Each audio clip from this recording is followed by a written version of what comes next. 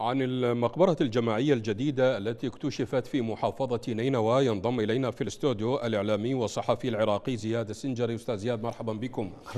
السلطات أعلنت أن المقبرة تعود لعناصر تنظيم داعش ولكن السؤال المطروح هنا يعني كيف تسنى للحكومة أن تعرف أن الضحايا هم من عائلات آه، التنظيمات الإرهابية؟ كيف عرف عرفت ذلك؟ تحياتي لكم أستاذ محمد ولكل المشاهدين الكرام. آه وشكرا لقناة الرافدين التي دائما ما تستقصي الحقيقة نعم. وتحفظ حقوق الضحايا في كل العراق حياك الله آه حقيقة ما جرى في مدينة الموصل جريمة كبرى جريمة إبادة وهنا الحديث آه ليست عن مقبرة أو مقبرتين نعم. الحديث هنا عن حسب ما أفاد به مصدر نعم. طبي ومدير صحة نينوى وبالتحديد لدينا 96 مقبرة جماعية في محافظة نينوى هناك مقابر آه، فيها عداد يبلغ الأرقام فيها بالآلاف مثل آه، مقبرة آه، العذبة أو الخسفة ما يسميها أهالي مدينة الموصل وتلعنتر كذلك. لذلك أعتقد بأن هذا الكلام غير صحيح وغير دقيق خاصة إذا ما علمنا أن هناك أطفال ونساء. طيب. حقيقة أنا اتصلت بنفسي أيضا في الطب العدلي وتأكدت من مصادر أخرى اكتشفنا أنه هذا الكلام غير دقيق تماما م. لسبب بسيط أن العينات التي تم أخذها لا يمكن مطابقتها مع عينات سابقة لكي يعلموا إذا كانوا هؤلاء من عوائل التنظيم الإرهابي نعم. أو لا طيب. هاي النقطة الرئيسية طيب نعم أستاذ زياد إذا كان الضحايا بالفعل لنسلم أنهم من عائلات تنظيم داعش هل يقتلون لمجرد أن أحد ذويهم من تنظيم داعش يعني هذا هذا الأمر آه، الكي بالمكيالين مثل ما يقال. لا يوجد آه، في كل المواثيق والشرائع السماوية. نعم. وكل الاتفاقيات وكل القوانين في كل العالم من يجيز قتل النساء والأطفال. م. هذا أمر مرفوض. أما مسألة إنهم ذوي دواعش أو اخره أعتقد هناك قانون وتحقيقات هي من تثبت ذلك. م. ما حدث هو آه، جريمة مركبة. بدايه الأمر هو قتل الأطفال والنساء. والجريمة الثانية المركبة هو جعل كل هؤلاء في خانة الإرهاب طيب. هذا أمر مرفوض تماما وغير صحيح وغير دقيق لربما هناك آه، بعض المسلحين داعش نعم. لربما نعم. ممكن لكن هذا لا يعني أن 143 شخص الذين تم العثور على رفاتهم كلهم دواعش, دواعش خاصة إذا ما علمنا أن هناك نساء وأطفال وقسم من هؤلاء الأطفال حسب ما أفاد به مصدر نعم. طبي لي شخصيا في اتصال هاتفي أكد بأنهم بعضهم رضع مم. يعني أشهر عمرهم نعم أشهر, أشهر أو أقل من سنة طيب فهل يمكن لشخص أستاذ أن يكون داعش إذا ما حدث التحقيق هل يمكن أن نثق بالتحقيقات الحكومية بهذه اللجان؟ الحقيقة لا يوجد إرادة لتحقيق استقصائي حقيقي م. يعتمد على معايير علمية ومهنية ممكن هذه التحقيقات ممكن أن تفضي إلى الحقيقة، لماذا؟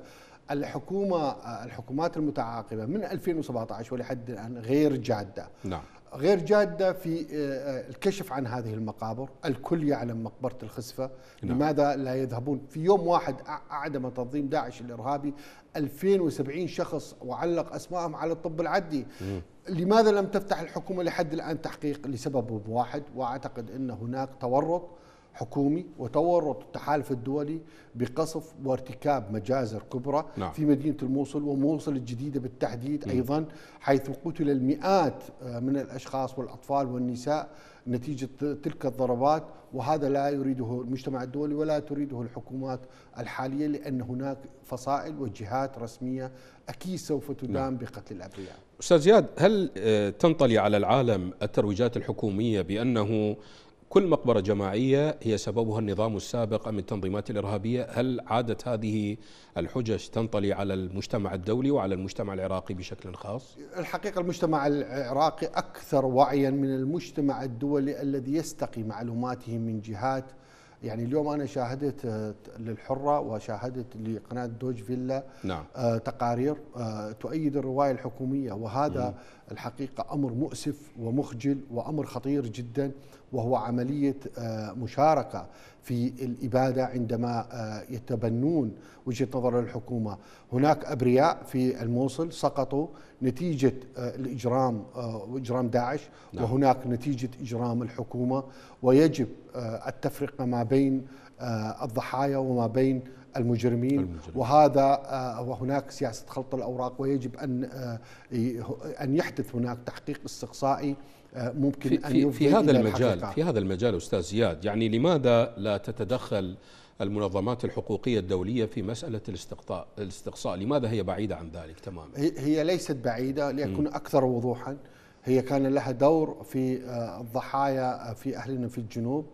باعتبار هناك مجازر ارتكبها النظام السابق وهناك أيضا تحقيقات في آه، اليزيدية وفي سنجار وتم بالفعل قامت هذه المنظمات بتمويل أربع آه، عمليات تنقيب نعم. ولكن في مدينة الموصل لم تقدم أي مساعدة لحد الآن وهناك تقاعس من قبل الأمم المتحدة والمنظمات مما تخشى أستاذ زياد مما تخشى؟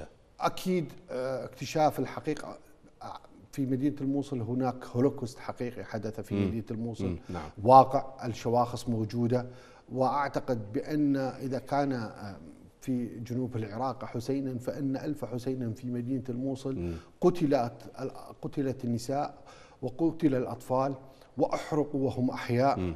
وهناك من مات جوعا وتضور جوعا في مدينة الموصل هذه قصص وهذه آه، أحداث يجب أن يتم فتح تحقيق بها وإن وإن تأخر ولكن بكل تأكيد حقوق أهل الموصل نعم. ونينوى وكل العراقيين لن تسقط بالتقادم ويجب محاسبة المقصرين مهما كانوا ومهما ارتكبوا من جرائم سيأتي الذي اليوم الذي سيحاسبون فيه. لذلك الحكومة تخشى هذا الأمر. والحكومات وكل من يعمل بالعملية السياسية حتى من النواب الممثلين لمحافظتنا. نعم. نعم. في مدينة الموصل. ما هو دورهم في ذلك؟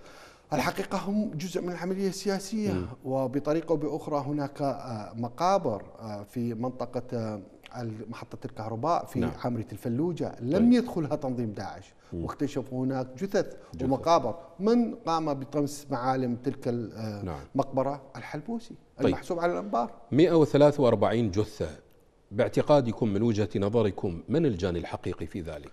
الحقيقي هو بكل تأكيد تنظيم داعش يلعب دور طيب. ولكن طيب. الأكبر من قتل هؤلاء النساء والأطفال هو القصف العشوائي وصواريخ نمر النمر والطيران التحالف الأمريكي وتنظيمات داعش الكل مشترك في قتل أبناء مدينة الموصل ومحافظه نينوى.